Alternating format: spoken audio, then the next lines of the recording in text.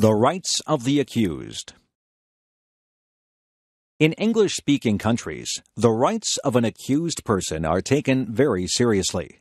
Over many centuries, laws evolved in such a way that people could not be arrested or charged without a very good reason. Of course, every country needs to enforce its laws, this means that police officers are needed, and so are prosecutors, the lawyers whose job is to make criminal charges against people who break the laws and to prove that those charges are true.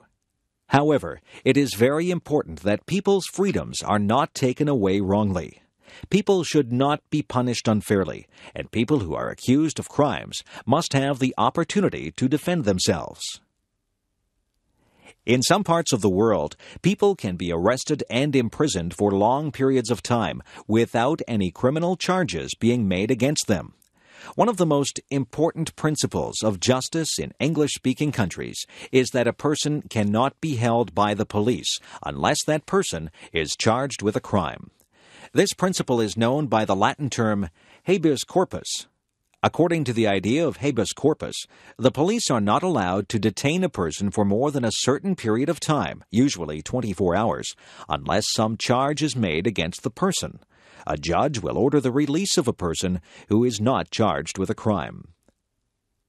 Another important feature of justice systems in most English speaking countries is that accused individuals have the right to be represented by a lawyer.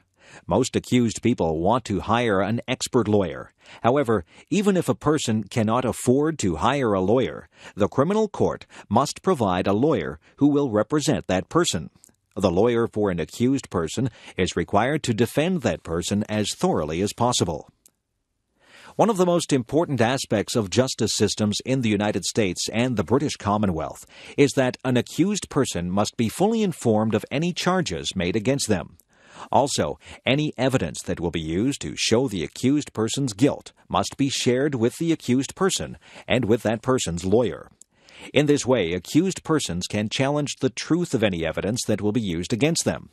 Similarly, any person who acts as a witness against an accused person can be cross examined by the accused person's lawyer.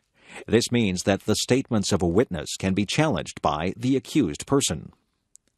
Another important element of most English speaking justice systems is that evidence must be obtained fairly.